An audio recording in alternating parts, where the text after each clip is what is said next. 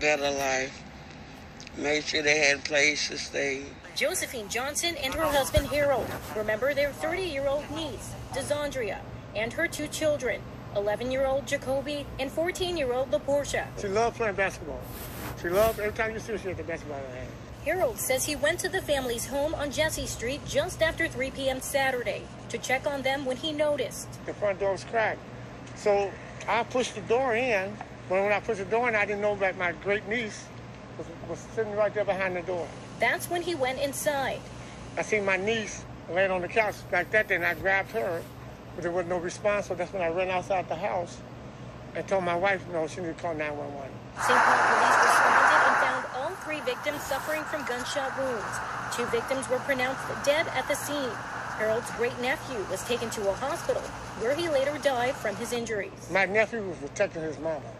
He was still alive. When I walked in the house, he said, Uncle Harold, help me.